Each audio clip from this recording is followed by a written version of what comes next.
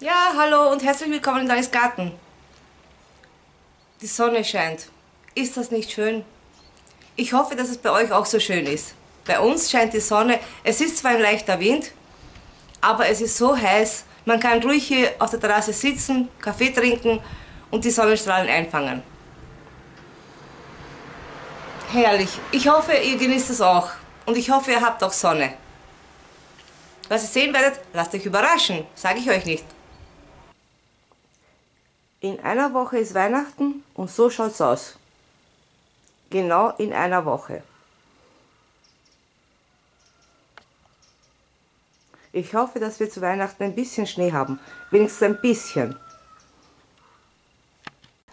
Da wir keinen Besuch erwarten, haben wir nicht großartig geschmückt, sondern einen schönen Weihnachtskranz mit einer schönen Glocke. Ich hoffe, die läutet noch. Ich hoffe, die klingelt noch. Ja, die klingelt noch. Und so eine Glocke und das war's auch schon. Weihnachtsbaum im Haus. Heuer keine Lichterketten, kein nichts. Es ist zwar etwas weihnachtlich, aber nicht weiß Gott was. Und meine Hühner und meine Gänse laufen mir schon entgegen. Die wissen, die kriegen jetzt was zu Mittag. Eine Kleinigkeit, um sich aufzuwärmen. Mein meine Blume, was ich da ins Wasser gegeben hat, hat jetzt ein paar Wurzeln und die möchte ich jetzt auch setzen. Das zeige ich euch aber auch. Hat schöne große Wurzeln. Muss ich nur aufpassen, dass ich nicht breche. Könnt ihr das sehen? Die kommt jetzt in die Erde und ich hoffe, dass sie dann wächst und gedeiht. Die Erde habe ich schon vorher nass gemacht damit die Wurzeln nicht beschädigt werden können. Aber die Erde werde ich trotzdem andrücken. Und ja, ich neige dazu, mir noch so eines zu schneiden und ins Wasser zu geben. Denn das ist eine schöne Blume. Und ja, ich hoffe, das wird was. Und ich habe nächstes Jahr vielleicht auch mehr davon. Das wäre geil. So, ich möchte mir Baileys-Kugeln machen. Ich habe gestern schon ein paar gemacht, aber die sind so lecker, da möchte ich mir noch ein paar machen. Ein paar mehr machen. Das zeige ich euch jetzt.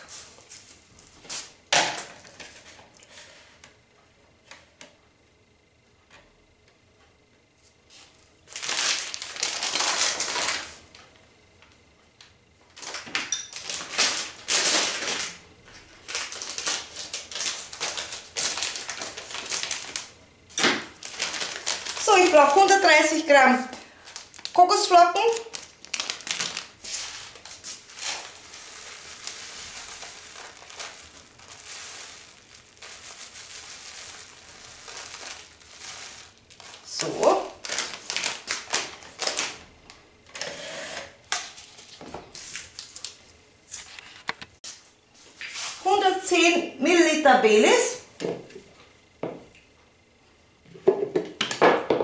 Den Messbecher verkehrt aufgestellt.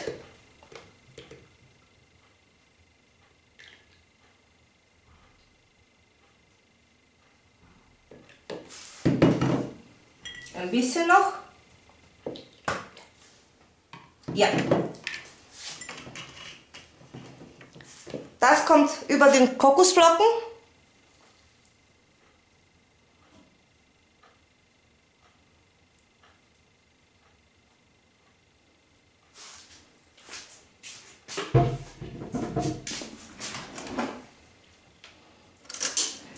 Das ein bisschen um und das kommt dann für eine halbe Stunde in den Kühlschrank.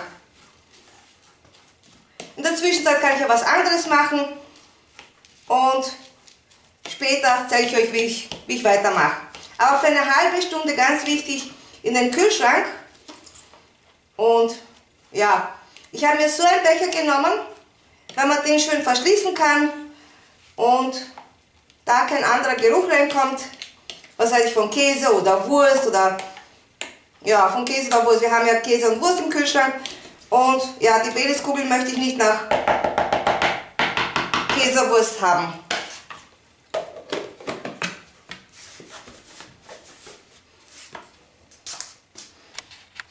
Die restlichen Kokosflocken kommen in einen Teller, denn da wälzt sich dann zum Schluss die Baileys-Kugel, wenn sie fertig sind, geformt sind. Aber das zeige ich euch dann auch. Und meinen Teller verstecke ich, denn ich habe Angst, dass meine Mieze kommt und da ein bisschen herumschlägt. Und auch hier haben wir einen kleinen Weihnachtsbaum, der ist auch leicht geschmückt. Ein paar Leuchtkerzen und ja, halt weihnachtlich. Da habe ich 40 Gramm Butter drinnen. Das ist so ein Topf mit Doppelboden. Da ist Wasser drinnen geschüttet worden. Das wird heiß. Und wenn die Butter zergeht, kommt die Schokolade rein. Und die Schokolade, mir ist die weiße Schokolade ausgegangen. Jetzt habe ich noch zwei Stück von der dunklen Schokolade genommen und das werde ich alles schmelzen und zu den Kokos und Baileys dazugeben und dann muss das wieder stehen für zwei Stunden und dann erst werden die Kugeln geformt. Das Wasser wird schon warm, die Butter fängt an zu zergehen.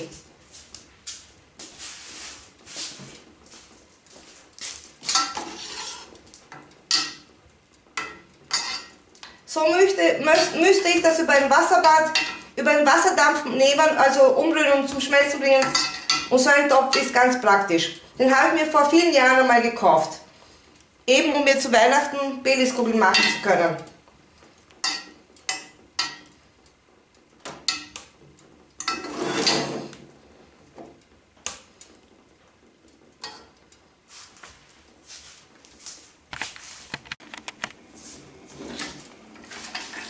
So, die Butter ist geschmolzen. Jetzt kommt die Schokolade rein.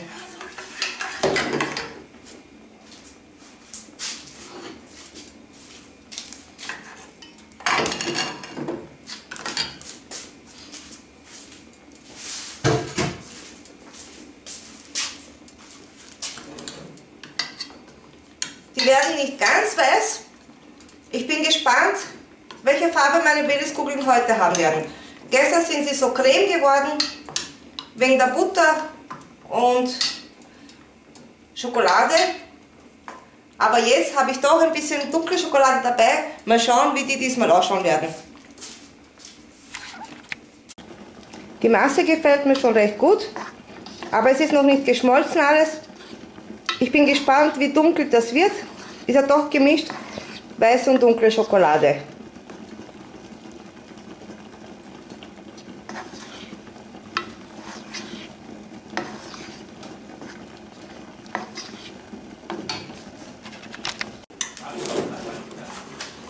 So, meine Schokocreme schaut recht gut aus.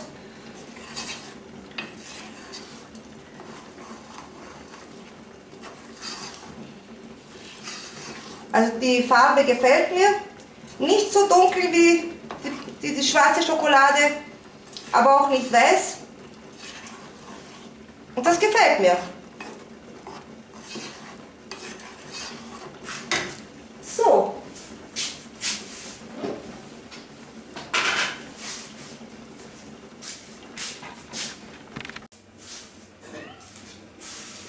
Da muss ich jetzt aufpassen, ich darf nicht die Seite mit dem Loch, wo das Wasser rausfließen kann, nehmen. Denn das wäre schlecht, wenn ich jetzt Wasser da drinnen bekommen würde.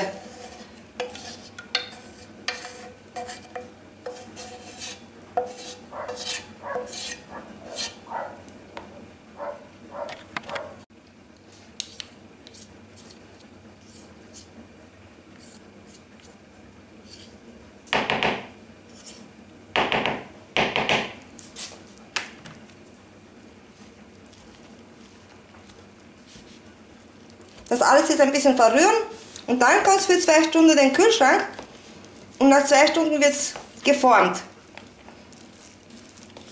Dann gibt es Baileys-Kugeln.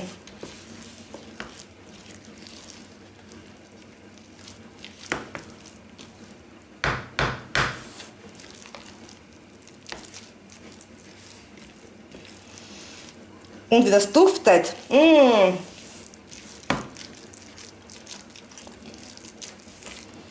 Also ich bin wirklich total überrascht, was alles die Zuckerbäcker oder die, wie man die auch nennt, die was die Süßigkeiten produzieren, total begeistert, wie sie tagtäglich neue Sachen machen, neue Sachen erfinden, jedes Jahr was Neues. Und das habe ich mir schon mal gemacht, diesen Rezept, dieses Rezept Baileys-Kugeln. Es hat mir so gut geschmeckt, so gut gefallen. Heuer habe ich mir vorgenommen, wieder zu Weihnachten Baileys-Kugeln zu machen. So, zumachen und für zwei Stunden in den Kühlschrank stellen. Schaut gut aus. So, meine Baileys-Kugeln werden jetzt gemacht.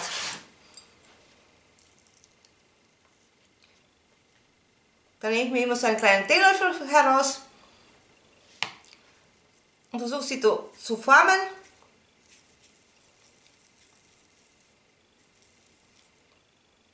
Oh, das riecht gut. Oh. Und dann wälzen.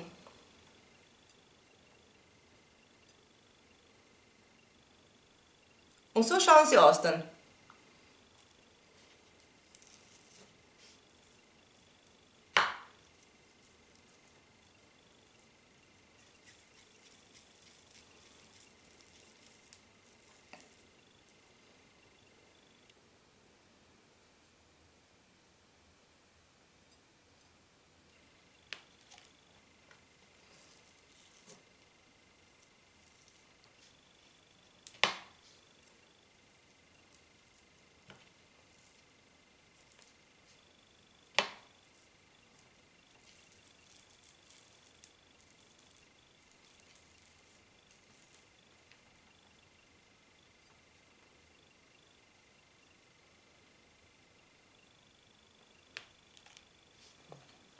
So, die eine Schale ist jetzt voll.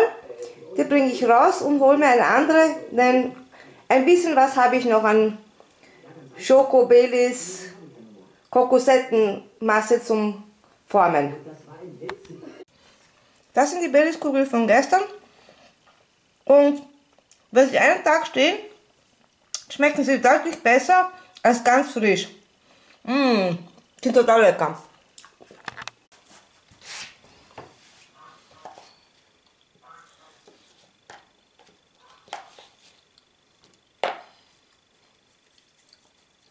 Mit der Masse sollte man sich beeilen, weil wenn es zu heiß ist in der Wohnung oder im Haus, dann wird das weich und lässt sich nicht so schön formen.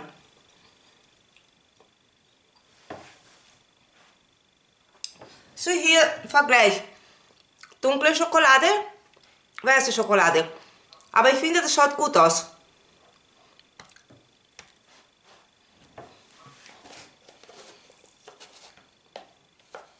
Das Wichtigste ist, die Kokoskugeln, äh, die Baileyskugeln kühl zu lagern. Dann halten sie sich lange, lang und werden fester. Wenn man sie in der Wohnung hält, bei hoher Hitze, dann werden sie weich und werden auch, glaube ich, kaputt. Ich glaube, mir sind vor ein paar Jahren welche kaputt gegangen, weil ich sie zu warm gelagert habe. Also die Kokosflocken oben drauf die sind, ja, haben einen Pelz bekommen. Deswegen ist es wichtig, die zu kühlen. Oder im Kühlschrank halten. Geht auch.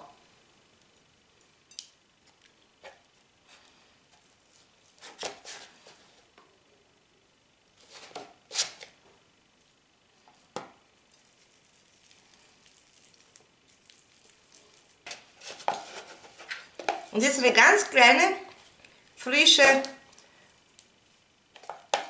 Baileys-Kugel für mich zum Essen, zum Naschen. Habe zwar schon genascht, aber die sind so lecker. Wobei die schmecken viel besser, wenn sie einen Tag mal stehen und dann erst essen.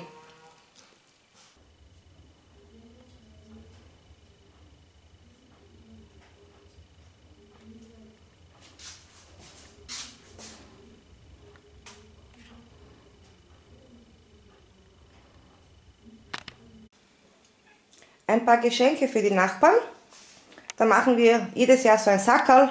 Wir können ja nicht mit leeren Händen zu ihnen gehen. Also machen, setzen, stellen wir so Sackerl zusammen, was sie gerne essen könnten oder naschen könnten oder trinken könnten. Und das gibt es dann zu Weihnachten. Lina, was ist los? Willst du raus? Willst du raus, Katze?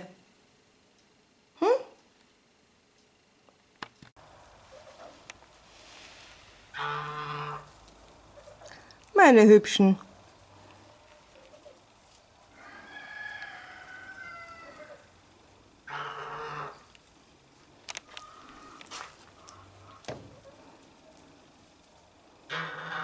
Ja, was ist denn?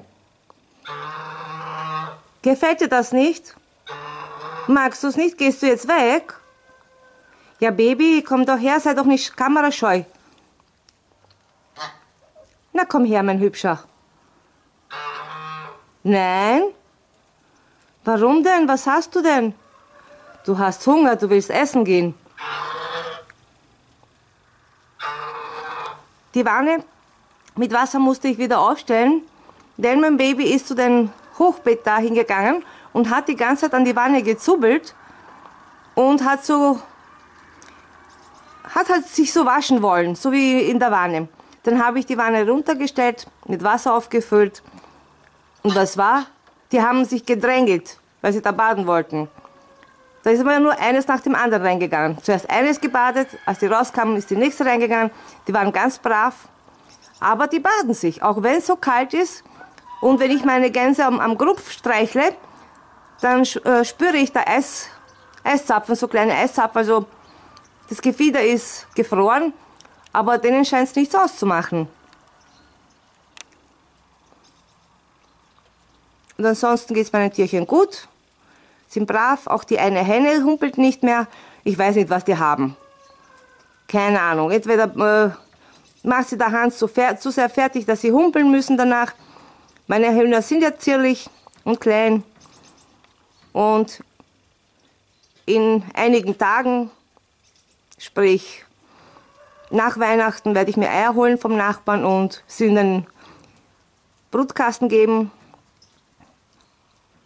Ja, dann schauen wir mal. Ich habe 30, äh, 20 Eier bestellt. Nicht 30, 20. 20 Eier habe ich bestellt. Hauptsächlich hoffe ich, dass es die dunklen Hühner sind, die er hat, denn die sind schön. Wenn es ein paar Mechelner Hühner sind, habe ich auch nichts dagegen. Bist du raus? Nee, draußen ist kalt. Bist du da, Schatzi? Du magst gar nicht rausgehen. Die ist kalt. Du warst schon in der Früh draußen. Es ist kalt. Komm, lass mich durch. Ich mach Fenster zu. Auch für die Kleinen haben wir was. Die freuen sich ganz besonders über Kleinigkeiten. Natürlich kriegen sie von ihren Eltern und Großeltern Geschenke, aber wenn wir vorbeigehen, möchte ich nicht mit leeren Händen gehen. Kinder freuen sich über alles Mögliche an Geschenken. Eine Kerze für die Gesundheit und für das Leben. Und dann die vierte Kerze brennt schon, der vierte Advent. Was gibt Schöneres? Ja, der vierte Advent. Heute in einer Woche ist schon wieder vorbei, Weihnachten. Beziehungsweise ist der zweite Tag und ja, ist alles wieder aus. Man bereitet sich vor, Mehlspeisen, Kekse, Baileyskugeln, Geschenke für die Nachbarn, für Kinder und dann ist so schnell wie möglich vorbei. Ich muss noch die Geschenke von den Kindern einpacken es hat keine Eile. Es, gibt so, es sind noch ein paar Tage Zeit. Aber ich möchte sie herrichten. Ich möchte nicht im letzten Moment dann merken, ach, ich habe zu wenig Geschenkpapier oder wie auch immer. Also mache ich das am besten gleich und dann habe ich meine Ruhe. Ja, was tut sich so? Was gibt es Neues in Ungarn? Eigentlich nicht viel. Es wurde, ihr werdet überraschen, es wurde im Süden Ungarns ein schwarzer Panther gesichtet. Der wird jetzt äh, nicht gejagt, sondern äh, wird ausfindig gemacht, eingefangen. Vermutet wird, dass der in Rumänien von irgendwelchen Besitzer gehalten wurde, natürlich illegal, denn ein schwarzer Panther, ein südafrikanischer schwarzer Panther, denn der lebt ja normalerweise nicht hier in Europa, ist nicht heimisch in Europa und den wollen sie dann einfangen und an einen Zoo bringen oder unterbringen und ja, das ist das Neueste. Ich war selber überrascht, dass ich das Bild gesehen habe. Und ja, es gibt Leute, die halten sich nicht an gewisse Regeln, die glauben, die müssen irgendwelche Tiere einführen und sie als Haustiere halten. Dem ist nicht so, denn wilde Tiere suchen ihren Weg in die Freiheit und ja, sehe ich nicht so, dass das okay ist, aber wenn sie den fangen und einen Zoo bringen, das wäre schön. Ansonsten, was gibt es noch Neues? Eigentlich nicht viel. In den Geschäften ist noch immer Maskenpflicht. Aber ansonsten ist alles locker, alles, äh, die Menschen haben, können sich treffen. Also wir gehen zu den Nachbarn, die Nachbarn kommen zu uns. Und wir reden auch, wir lachen öfters. Und ansonsten ist alles beim Alten. Was mir noch bleibt zu sagen, ich wünsche euch einen schönen vierten Advent. Bleibt mir gesund. Feiert schön im Kreise eurer Familien oder Freunde, wie es halt nur geht. Ich weiß, vieles geht nicht, kann man nicht machen. Und es wird schon. Die Hoffnung stirbt zuletzt. Dann bleibt mir zu sagen, Daumen hoch, wenn es euch gefallen hat. Unten abonnieren nicht vergessen, also unten. Und über Kommentare freue ich mich immer wieder, denn die bauen mich auch ein bisschen auf. Ist auch für mein seelisches Gleichgewicht was Schönes zu lesen, wie sich die Leute äußern über meine Videos. Bis jetzt hatte ich hauptsächlich positive Kommentare auf die eine oder zwei Kommentare, auf die einen oder zwei Kommentare, die was sich die Leute lustig gemacht haben oder mich kritisiert haben. Ja, soll so sein, deswegen gibt es die Meinungsfreiheit. Und über Tipps und Ratschläge freue ich mich jedes Mal, wie immer. Also dann, bis dann, aus Ungarn, tschüss.